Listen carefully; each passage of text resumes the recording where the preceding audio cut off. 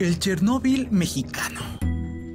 Corría 1983, varios años antes de la explosión de un reactor en la planta nuclear ucraniana de Chernóbil, que ocurrió en 1986, lo que sería conocido como el Chernóbil mexicano, ya que fue considerado el mayor accidente con material radioactivo en América Latina. La tragedia tuvo su origen en el Centro Médico de Especialidad de Ciudad Juárez, en Chihuahua, cuando en 1977 un grupo de doctores del hospital compraron una máquina de radioterapia equipada con una bomba de cobalto 60, un isótopo radioactivo sintético que emite rayos gamma utilizados para tratar a pacientes con cáncer. Pero seis años después, le encomendaron un trabajador de mantenimiento del hospital llamado Vicente Sotelo para que se lo llevara y lo vendiera como fierro viejo. Y es que por falta de personal capacitado, el aparato nunca pudo ser usado y debido a su gran tamaño, ocupaba un espacio importante en el hospital, por lo que al no ocuparse, decidieron deshacerse de él. Por su peso, que eran 100 kilos, el trabajador no dudó en aceptarlo, ya que pensó que con él podría ganar una buena cantidad de dinero. Y es que pensaba venderlo en un depósito de fierro viejo. Sí, una máquina radioactiva vendida como fierro viejo.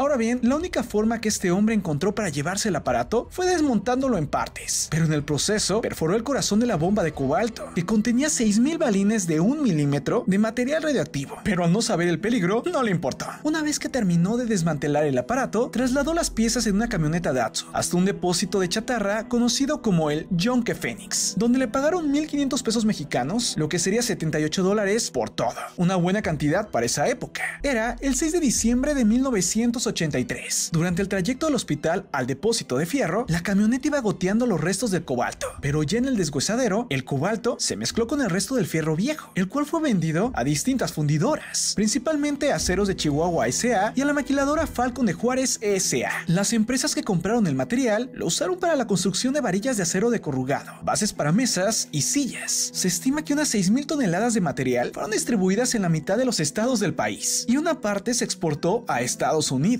Nadie se había dado cuenta del incidente hasta el 16 de enero de 1984, ya que un camión que llevaba material a Nuevo México detonó los detectores de radiación del laboratorio nuclear de Los Álamos. Y era tal la radiación que se empezó con una investigación. Y es entonces que de inmediato Estados Unidos emitió una alerta a México. Pero fue hasta días después que se pudo encontrar a una de las principales fuentes de contaminación, la famosa camioneta Datsun, en la que se habían trasladado las piezas del aparato al depósito de chatarra. Y es que la camioneta fue localizada en la colonia Altaviste, una de las zonas más pobres de la ciudad Juárez, donde había quedado parada durante semanas porque poco después de haber llevado el aparato al depósito, le habían robado la batería. Como la camioneta estaba en un área abierta, niños que jugaban en la calle y personas que pasaban por el lugar estuvieron expuestas a la radiación todo ese tiempo. Según las mediciones, la camioneta era radioactiva y cualquier persona que se acercara a ella quedaba contaminada y estaba en peligro de muerte. El depósito de chatarra también registró altas cantidades de radiación, pero cuando se trató de recuperar el material ya no estaba ahí. Todo había sido comprado por distintas fundidoras y maquilas. Los expertos calculan que más de mil toneladas de varilla nunca se recuperaron y fueron ocupadas para la fabricación de casas. Sí, más de mil toneladas de varillas radioactivas. Cuando se descubrió la dimensión del desastre, la revista mexicana Proceso publicó que Sotelo y un compañero que lo había ayudado fueron amenazados por el director del hospital, quien los obligó a firmar un documento en el que admitían que se habían robado la máquina.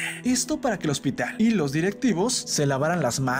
Actualmente no se sabe el número de personas que estuvieron expuestas a la radiación y se desconoce el tipo de afectaciones que sufrieron. Y es que tan solo en el estado mexicano de Sonora hubo más de 160 casos confirmados de viviendas contaminadas. Todo esto consta de un informe sobre el incidente, el cual elaboró la Comisión de Seguridad Nuclear y Salvaguardias, el cual es llamado Accidente por Contaminación de Cobalto 60, México 1984. Es así que actualmente en México y Estados Unidos, miles de personas viven casas radioactivas, las cuales los están matando y no lo saben. Y es que es increíble pensar que una máquina radioactiva fue vendida como fierro viejo y nadie se había dado cuenta. Ahora tú ya conoces el Chernobyl mexicano, el cual tal vez le costó la vida a miles de personas y se la sigue costando, porque vivir en esas casas radioactivas les podría provocar la muerte y tristemente no lo saben. Bastante sorprendente. ¿No lo crees? Yo en lo personal estoy completamente asombrado, porque este caso sí se conoce. Pero ¿cuántos casos más se dieron, existen y están en secreto? Bastante perturbador. ¿No lo crees? Antes de irme, te invito a que conozcas mi canal de terror y misterio, llamado Archivos Miedo. Pero ten cuidado, es muy perturbador. Aún así, si te gusta el horror, Archivos Miedo es para ti. Yo soy Marco Antonio C y esto, eso es tu Cosmópolis. Nos vemos pronto. Un abrazo fuerte. Bye.